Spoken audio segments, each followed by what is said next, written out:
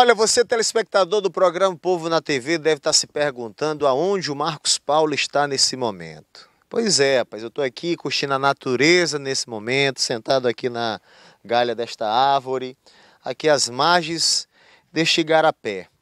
Garapé este que com certeza logo logo vai transbordar com a quantidade de água que o mesmo recebe. Sabe onde eu estou? Eu estou aqui exatamente no povoado Cocalinho. É, no povoado do Cocalinho, que eu já estive aqui outras vezes. Eu vou tirar o óculos para falar agora, para falar olho no olho. É, olho no olho. Prefeito, eu estou de volta aqui no povoado do Cocalinho depois de alguns dias ou até mesmo mês ou meses. Esse igarapé onde eu estou, vou levantar aqui, Ari. Este igarapé aqui onde eu estou, olha, já tem uma certa quantidade de água com as pequenas chuvas que tem caído aqui na região nos últimos dias. E olha que o inverno ainda nem chegou, diga-se de passagem. O inverno nem chegou e olha a quantidade de água que já acumulou aqui nesse local, nesse igarapé. Logo aqui, Ari, mostra ali. Ali eles colocaram uma bueira, não sei como é que se chama ali, né, para a água é, escoar para o outro lado do igarapé para não é, criar um certo problema. Por quê? Vamos aqui, Ari, vamos andar aqui, vamos agora para cá, Ari. vamos sair aqui de dentro do Igarapé, Arimateia, nossa cinegrafista, vamos sair aqui. Eles colocaram, fizeram um paliativo, fizeram um paliativo colocando aqui, não é pissarra, tá? não é pissarra, é um maçapê, um barro. Eu não vou pegar aqui para não me sujar, né? Mas se eu fosse pegar aqui, você ia observar como é que é apenas barro. É, o carro passa por aqui, logo a poeira levanta. Pode filmar ali, Arimaté. Aqui o triângulo aqui que, ó, tá chegando uma moto aqui, vai passar aqui, olha só a poeira aí, ó. Olha a poeira. A poeira que todo veículo faz quando passa aqui, carro ou moto.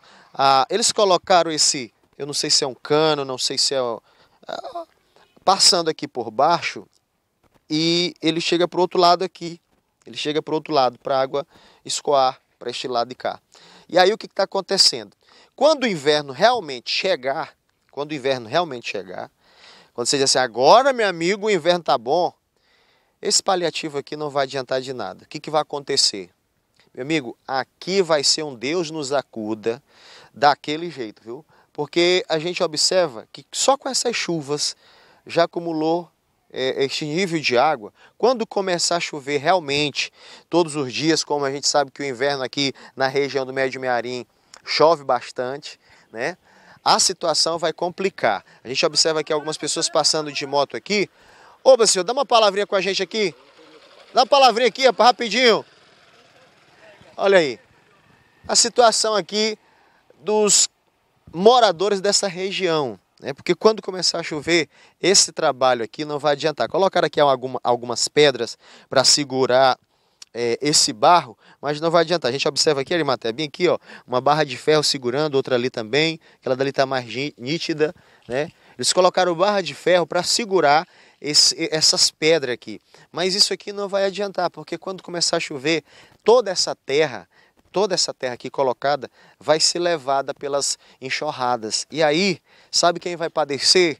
Sabe quem vai se lamentar, reclamar? Os moradores aqui do povoado Cocalinho, Santa Cantídia, é, Bom Lugar e demais localidades aqui nessa região. Os moradores todos os dias mandam mensagem para o programa Povo na TV pedindo, prefeito, faça ponte. É, ontem mesmo eu recebi a mensagem dizendo o seguinte: Marcos Paulo, nós não queremos presentes e muito menos festa de Papai Noel. Nós só queremos a ponte do povoado do Cocalinho, do Bom Lugar, Santa Cantídia, que é pontes de grande importância para os moradores aqui da região, aqui da zona rural.